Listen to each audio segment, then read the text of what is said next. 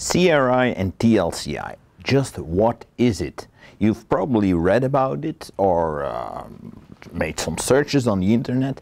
Well, I did just the same and I found some quite confusing stuff and not all of it quite so correct as it should be.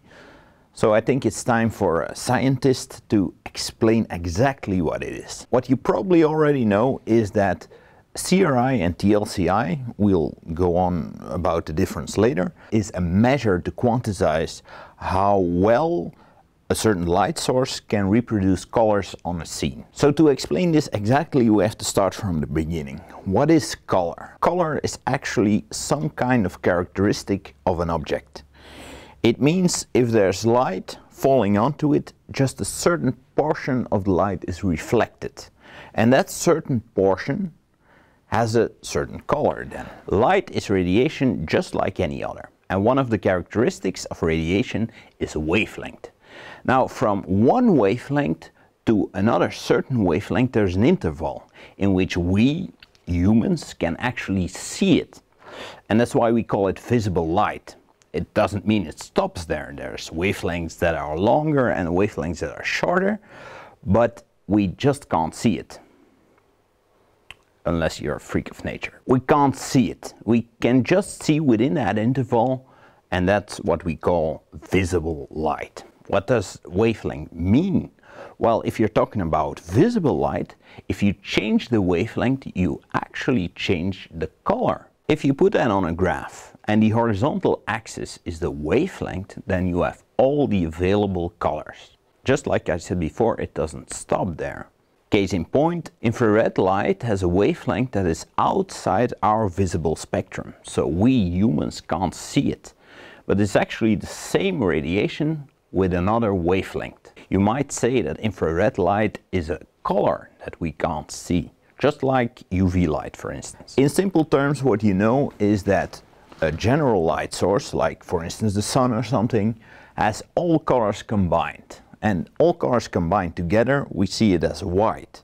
So if that light falls onto an object and the subject only um, reflects for instance the red-ish colors then that object will look red and the same for blue and green and every other color you can think of. So the original light source that falls onto the subject is very important and determining for the color we see of an object. For instance, if you have a red object, which means an object that only reflects red light, and you shine a source on it with only blue light, the red object will obviously appear black because it will not reflect any light that falls onto it. There's no better tool for understanding this and demonstrating, so we have our Delimex mascot here with the Delimex logo. And as you can see, it's red, blue and green if you don't know by now. It is lit now with white light, so containing all the colors, containing all the wavelengths. Therefore, we can see all the three parts of the logo. But if we were to light it with monochromatic light, only a part of that logo would be visible. So for instance, if we turn this to red light only, you can see, you can still see the red part of the logo, but the other parts are virtually black. If we change the color, the hue, other parts of the logo will become visible and less visible. I'm just going through the different colors now. Also, her skin tone and her suit normally has white reflections, but when you uh, light it with monochromatic light, as we are doing now, then it will all have some kind of intensity of the same color of reflection. So for instance, if this one is red, right there, all the reflections on our suit and our skin tone and everything will appear red now because we're just lighting it with red light. So the only thing that actually can reflect is red light. The original light that falls onto the subject is the determining factor in how the color will look, how your scene will look. We know the sun, We know uh, classical light bulbs, we know them for years, we're very used to it, but now new technology emerges like LED and fluorescent, uh, it's already a few years, but still, and we want a way to quantize how they compare to the things we know and to an ideal light source. So the fact that the original light source contains all the colors is very important to have an accurate uh, color reproduction of your scene. You can compare it a bit to a stamp. If you have an ink pad and uh, you, uh, you have a normal ink pad and you put your stamp on it, you'll have a nice image that your stamp creates. But if you have an ink pad that's only halfway filled, for instance, just one side, you put your stamp on it and then on the paper, you'll have just a part of your image. It's pretty much the same process with light that falls onto your scene. And that's why it's so important that it's a complete light. So to quantize that, we have a measurement tool in place and that is called CRI or TLCI. Right, so we have determined that CRI and TLCI are scores for light sources to judge how well they compare to ideal light sources. But it is important to know how it's calculated in order to judge the usefulness of a certain standard, obviously. How is it calculated? Well, there's actually one thing that's the same for CRI and TLCI, and that's, that's the simple mathematics, and I'll just bring it down to the bare minimum. What it actually does is you have a few color samples, you light them with an ideal light source, we'll get into that uh, a bit later, and then you compare it to your light source you want to uh, judge or you want to score by the CRI or TLCI system.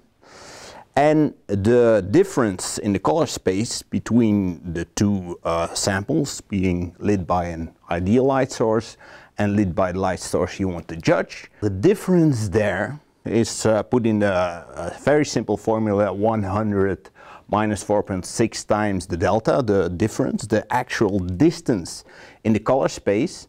So if there's zero distance, if it's exactly the same point in, in the color space and in chromaticity space, then it would be 100, the perfect score. But that would be just for one sample, and it's done for several samples, and that's where the difference is. But just the mean over that gives you the, the complete score. Now, I say you compare to the ideal light source.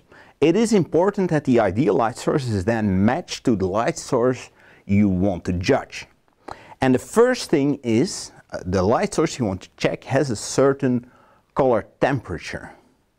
And you're actually not judging the color temperature of a certain fixture or light source, you're checking the ability to render colors and that is completely different from the uh, color temperature. So the ideal light source you want to compare it to needs to have the same color temperature. If you don't have that, you can't actually um, calculate the, the difference, the, the actual uh, distance. So the first thing you have to do is you have to determine the color temperature of your fixture so you can have an ideal light source in the same color temperature so you can actually make the right uh, measurement. So now you know that, you know that color temperature actually has no influence on the rating of CRI or TLCI. None of these standards have anything to do with the color temperature as such. It's completely outside of the measurement and outside of the calculation. What is the difference? That's the same for CRI and TLCI. That's the process it works. But what is the difference well, actually the difference is what do we use to compare it. And CRI uses these eight colors, these eight reference sample, so to speak. So each of these colors are lit with, with an ideal light source and then what light source you want to score. And difference is used over all these eight samples. The mean gives you the CRI score. Now, as you can see, these are all pastel colors. Instead of lighting a scene and finding out how it compares, it gives you eight color samples. That was what was chosen because it would represent a natural color rendition. But there was a lot of complaints as well. You could say a lot of things about it. And the first thing was eh, these are eight colors, but all of these eight are pastel colors. And you might wonder why is this a problem? You have to think about it this way. Every wavelength, every different wavelength is a certain color. So which means a very saturated color will be one wavelength in a very narrow band around it.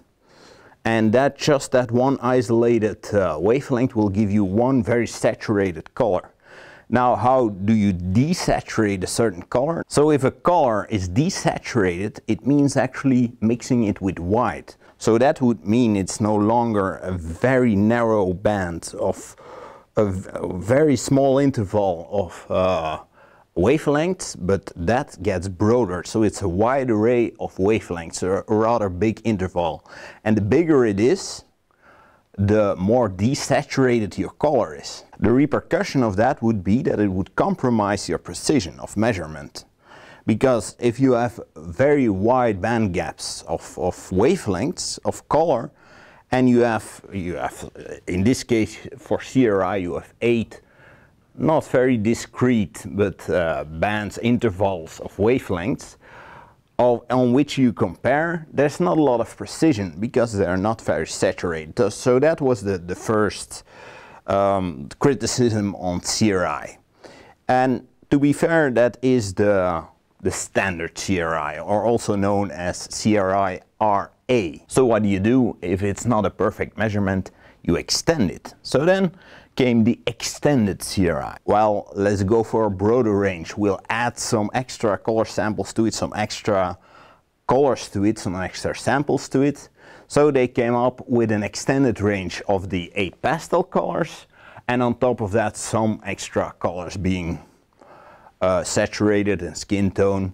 So you have a bigger comparison matrix, so you have a more precise way of telling how well the light can produce all kinds of colors. And this wider range leads to the CRI RE, the extended CRI. Now that still received a lot of criticism because you have to imagine that's how the eyes work and it's good for a natural reproduction perhaps, but the physics of how our eyes see a scene and how a camera sees a scene might be very different. TLCI is a bit different. It keeps the same process of calculating the TLCI, so it's still a score with 100 being uh, the perfect score, being zero difference. But it discarded the pastel colors and the saturated colors. It uses entirely different color samples. The colors needed to be easily available and uh, recognizable and stuff like that. And so they decided on the color checker. Everyone has it, well, pretty much everyone has it and everyone knows it and it gives you colors, wavelengths that are nicely spread. I say that nicely spread. There is a bit of a problem with this specific color because this one actually isn't within the visible uh, light of the cameras but it doesn't really matter. It's more important as it's widely available and recognizable. And it does give you a nice coverage over the entire color space. Now since there's no difference in mathematics between uh, calculating a CRI and TLCI, the difference is solely down to which color samples are used. And the color samples used in CRI are less saturated, so giving you a less precise measurement, that's the first thing. And the second thing, it might not be representative for what you're actually trying to measure, namely light sources for videography or cinematography, where you actually use cameras to see the world. And TLCI is much better suited to that and on top of that is more precise measurement. So TLCI is where you will really see the difference in light. If you're purchasing lights for video or cinema, which is probably your background if you're looking at this. So actually next time you have to judge the light, TLCI is giving you more information. TLCI might give you the true quality of a certain light for videography or cinematography. And it's more precise, it's more useful, it's actually more telling. A perfect CRI score would be generated by a light, or CRI or DLTI, it doesn't really matter, would be generated by a light that has all the colors in it. And obviously you're thinking about the sun, which is actually not entirely true. Because uh, sometimes you hear the term, if you look it up, sometimes you hear the term of unbroken. Each color, specific very small color, not a tint wider or smaller, is a certain wavelength, right? And if a light source contains all the wavelengths without disruption, which means certain wavelengths it doesn't have, then it would be unbroken. Now, even the sun doesn't deliver that, but it is very, very, very close. In this uh, graph, you can actually see Uh, that it is just a very little amount, some specific colors that the sun doesn't have. It also means that if a certain object has exactly the color that corresponds to the wavelength that is not in the graph of the sun, that object would appear black. Only if it, it's very narrow, so that means if it has exactly that color, not, not a tint wider in it, not a tint, uh, uh, not a tint more blue in it, not a tint more red in it, just, just that color, it would appear black. But obviously, as you can see, if you look at the whole spectrum, it's just very little that is missing. And you can therefore reproduce any color pretty much perfectly. Now, what does that mean for studio lights? Some people say CRI is no more important, TLCI is important and stuff like that. Now, what do the exact numbers mean? It's, it's been uh, said to death, but I'll repeat it again. So anything above 90, in between 90 and 100 would be very, very, very well. Any professional light will probably score in between 90 and 100. So here you can see a comparison between a studio light, a high-end studio light, and a simple LED light from a DIY store. So on the left you have uh, the color checker chart lit with a Lupo light, which has a TLCI of something like 97, so it's a very high-end uh, LED light. And on the right you can see the same color checker chart in exactly the same setup, but lit with a very simple LED light from a DIY store. We're not even sure about the CRI or TLCI uh, score of these uh, lights, but they are very low. As you can see, I've put both images into one image for easy comparison. We've done our best to match the color temperature of both fixtures, but that proved to be difficult. But even after correction of the DIY fixture, this is still the difference you can clearly see. Now a part of the criticism also was you can design some kind of light fixture that is actually good at scoring high on the CRI test or TLCI test or whatever and actually not be that good of a light. A score lower than 80 would need more correction or if it's very low it probably wouldn't even be able to correct the color in any way. One of the things to take away from all of this, and I said it before, is color temperature. Color temperature doesn't impact your CRI or TLCI rating. So for instance, if you have two lights and you can clearly see there's a, a visible difference in color temperature. One is correct, let's say, and the other is a few hundred K off. Well, that doesn't necessarily mean that light that's a few hundred K off has a lower rating of CRI or TLCI. It might just as well be higher. The light that deviates from the color temperature might actually have a higher TLCI or CRI rating and therefore be a better light in reproducing all the colors that are in your scene. On top of that you mustn't forget that your camera can actually compensate for the color temperature. Another thing, if the color temperature is off from a light, your TLCI or CRI won't help you in saying how much is off because the correctness of the color temperature doesn't impact the TLCI or CRI rating. Color temperature and CRI and TLCI have nothing to do with each other. They are completely separate things. Furthermore, since, and I've said it more than one time, the CRI or TLCI, it doesn't matter, is some kind of measure to quantize how well a light can reproduce all the colors in your scene you can only use those measurements or you can only calculate them actually for a white light. And I'm not talking about uh, a different color temperature because a 3200K white light is just as much white light as a 5600K light or even a 10,000K white light. CRI and TLCI are ratings just for white light.